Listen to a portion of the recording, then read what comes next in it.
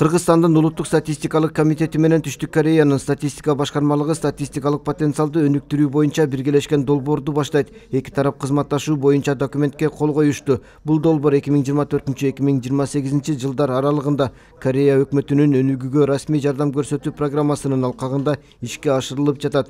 Долбоордун максаты кыргызстандын статистикалык потенциалын күчөтүү. Анын ичинде административдик маалыматтарды маалыматтар базасын башкаруу системаларын пайдалануу сапаттуу жана адам ресурстарын башкаруу расмий статистиканы өндүрүүнүн натыйжалуулугу ошондой эле респонденттердин ишинин оордугун азайтуу болуп саналат. Долбоордун беш жылга каралган болжолдуу бюджети беш жарым миллион долларды түзөт. Ушул долбоордун тегерегинде э, мен ойлойм биздин э, улуттук статистикага э, беш жылдын ичинде биз дагы булардын деңгээлине жетпесек дагы кореянын ошого биз аракет кылабыз.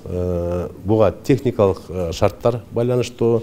Көп мынау қымбат бағалы серверларды құрып деп атат компьютерный оборудование алып беришет эң негизгиси азыр цифровизация заманы. Андан кийин электронный отчетность деп атабыз ушунун баарын тең булардын практикасын алып көрөбүз керектүүсүн алабыз